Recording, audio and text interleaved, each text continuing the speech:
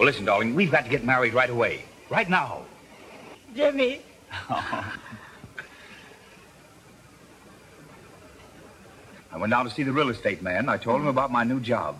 And he said we could have the house for a $1,000 down. What do you think of that? So we'll go down to the bank this afternoon and draw out the $1,000, go down and pay it on the house, and we can get married tonight. Oh, wait a minute, Jimmy. Well, what's wrong with that picture?